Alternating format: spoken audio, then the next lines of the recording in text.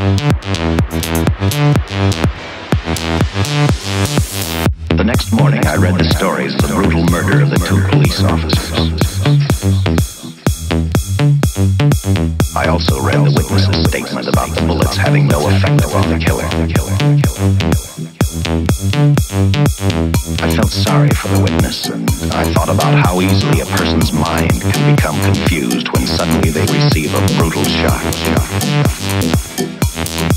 I didn't believe a man existed who could not be stopped by a slug from a 45.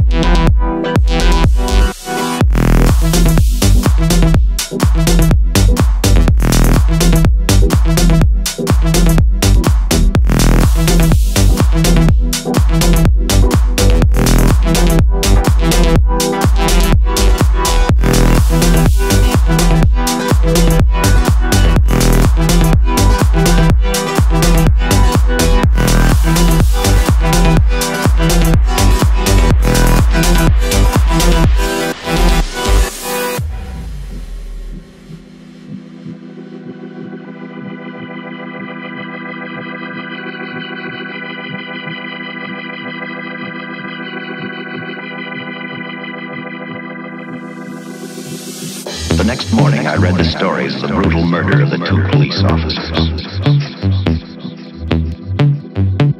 I also read the witness's statement about the bullets having no effect upon the killer. I felt sorry for the witness, and I thought about how easily a person's mind can become confused when suddenly they receive a brutal shock. I didn't believe a man existed who could not be stopped by a slug.